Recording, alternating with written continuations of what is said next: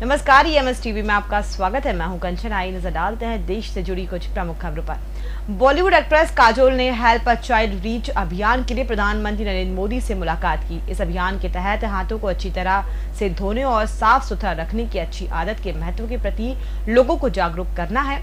Kajol Hindustan Unilever की स्वच्छ आदत, स्वच्छ भारत जैसी तमाम पहलों के ज़रिए हाथों की सफ़ाई से व्यवहार में आने वाले बदलावों का प्रचार प्रसार कर रही हैं। इस बारे में ज़्यादा चर्चा के लिए उन्होंने मोदी से मुलाकात की और बाद में मीटिंग के दौरान हुई बातें भी शेयर की।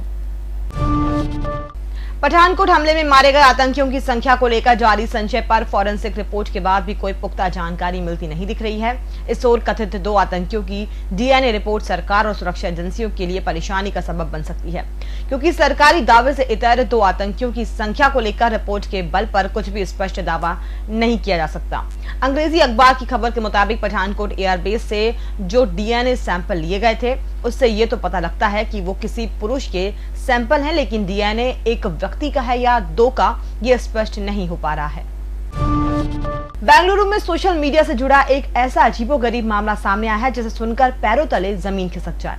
यहाँ एक महिला ने अपने पति की उंगलियों को चाकू से इसलिए काट डाला क्योंकि उसके पति ने उसका फ़ोन छीन, मैसेज की जाँच करनी शुरू कर दी थी।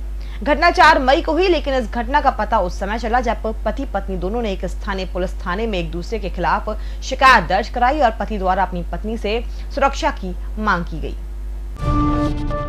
पत्रकार राजदेव रंजन हत्याकांड के तार सिवान जेल से जुड़ने के बाद जेल में बंद पूर्व राजद सांसद मोहम्मद शाहबुद्दीन को सिवा से भागलपुर जेल भेज दिया गया है। हत्याकांड के तार सिवान जेल से जुड़ने के बाद कल जेल में छापेमारी की गई थी और आपत्तिजनक सामान बरामद होने के बाद आज सुबह आनंद फानन में उन्हें सिवान से भागलपुर जेल ले जाया गया।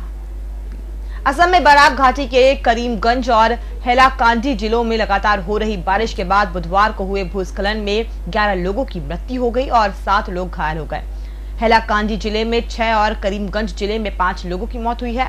एक पुलिस अधिकारी ने बताया कि करीमगंज ज़िले के सोनाचीरा में भूस्खलन में एक ही परिवार के पाँच लोगों की मौत हो गई। और फ़िलहाल इस बुलेटिन में इतना ही। और भी खबरों के लिए आप बने रहिए www.emstv.in के साथ और इसी के साथ ही आप अपने स्मार्टफ़ोन पर गूगल पे में जाकर एमएस टीवी की ऐप भी डाउनलोड कर सकते हैं। नमस्कार। अरे मेरी माँ, देख, अगर मच्छर फिंगर्स पे काउंट कर सके तो normal mode